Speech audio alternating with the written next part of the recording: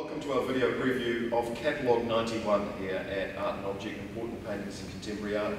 All the works are currently on display. In just a second, Ben and I are going to talk about some of the works that we find particularly interesting.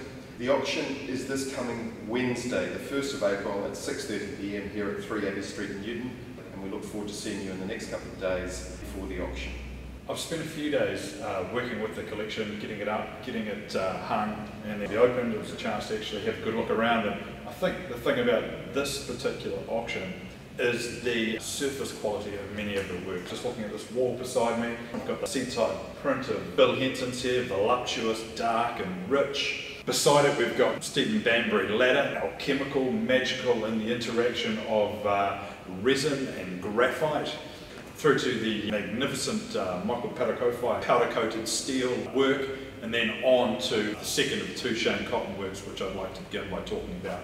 The first one will be recognisable to many of you as being an example of his uh, increasingly well-known history paintings, which he comes up with compositions that feel old.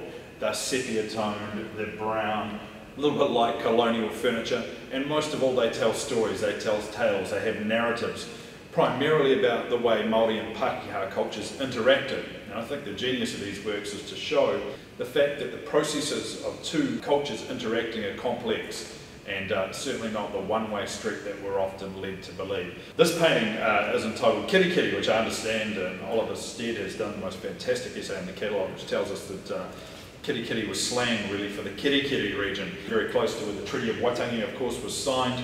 It's grafted on the painterly language of the European uh, surveyors and watercolourists of the time in the form of these linear compositions that feel very geomorphological, the way they cut to the essence of the land, and imposed on them imagery which is really classic Shane Cotton in the form of uh, stenciled letters, words, texts, and then uh, to bring it into the 20th century, this wonderful copyright sign here imposed on the language, and then right down the very bottom, Cotton has signed his name in oversized letters in a way that's uh, wholly engaging and uh, very, very unusual. Many of the early works in this catalogue have direct references, references to societal issues, references to the landscape. But in this work, Tu Tama by Michael Parekowhai, we see the references are deeply embedded within the conversation around intellectual property, and Maori imagery within museum Zealand art. This work, of course, is a direct reference of a Gordon Walters work, and in this case, it's a reference to the multiple, the screen print, Tama. And what we're asked to do with this work in this kit set is step into a conversation around authorship within the New Zealand context. It's deeply loaded, it's complicated, but first, I think what we should start with is the wonderful, beguiling physical presence of what was originally, in its Koru form with Gordon Walters, a two-dimensional work, and here it sits as this captivating wall relief. Carrying on with the theme of the quality of surface treatment and the intricacies of paint marking, we transition across this 2013 work from, from 1997, I think we get a lovely insight into the way the artist's practice has shifted um, and developed over this period of time. What we have here is a totally different set of painterly concerns. Taking its inspiration, this work, Sky, Land and Words, from the book of Genesis, Cotton here shows how his skill as a painter has developed.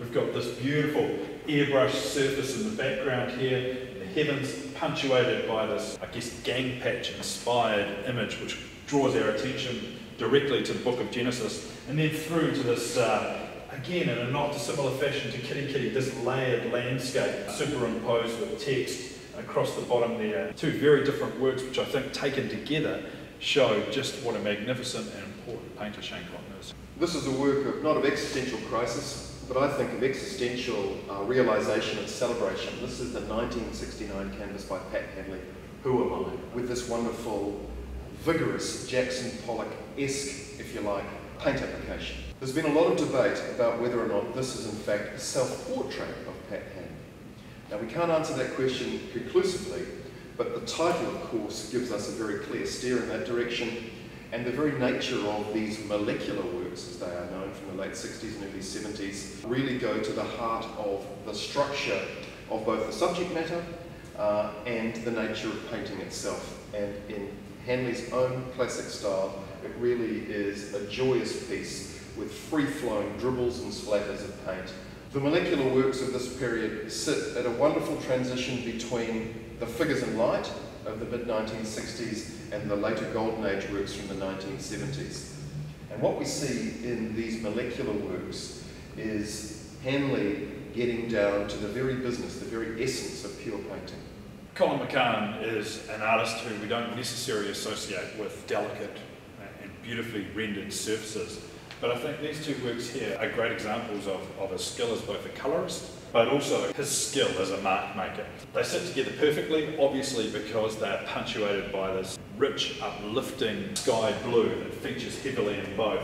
The work on the right, of course, is French Bay, painted in 1956 the work on the left, Colin McCahon's Kaipara flats work from 1971, part of the Kaipara flats series, looking out over the land this time. You can see the ground here is rich sort of ochres rendered in oil pastel on a beautiful West Auckland day. The one on the right here, perhaps among the most uh, ebullient, I think, of uh, McCahon's French Bay series. Not such a, an overtly cubist composition as many of them. This one punctuated by this crisscrossing here and uh, no recognisable subject matter, maybe a horizon line here. So uh, I think coming at the end of the French Bay series, and in many ways uh, among the most radical of the Titirangi French Bay paintings. This is one of Michael Shepherd's largest works. It's entitled Still Life in the Year of the Comet from 1986. I think what we see in this work is that Shepard operates fabulously at scale. The vast majority of his works, though, are really quite small. But this is a gigantic still life, not just in scale, but in reach in terms of the artist's conceptual inputs. It's set in 1910 in the heart of the Urewera with the passing of Halley's Comet, which was taken by the followers of the Ringatu Church, Rua Kenana of course, as a sign of deliverance, a sign of their blessing from Christ, that they, like the Israelites, would be delivered to salvation. And this work by Shepherd is set in the interior of their temple, their tabernacle, Hiona is how they refer to it, which of course is a direct reference to Zion. So in this work, we see in a 76 year span, which is described by the passing of Halley's Comet, a really key moment in our colonial history, recontextualized some 76 years later in this beautiful still life, which is set in the interior of Hiona.